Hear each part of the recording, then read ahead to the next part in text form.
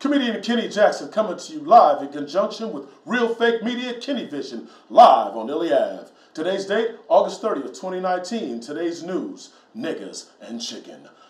A ninja with nunchucks reportedly went nuts. That's right, at the Fifth Avenue Cleveland location in Columbus, Ohio, when it was reported that there were no more top buns and only bottom buns to go with the chicken sandwich, he reportedly brandished a pair of nunchucks. That's right, swung them above his head and screamed, Fuck that top bun, put the pickle underneath the meat.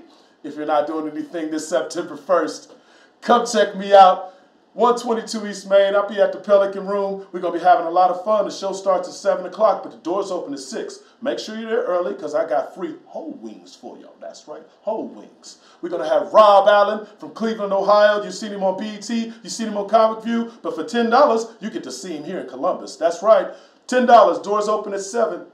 I'll be there.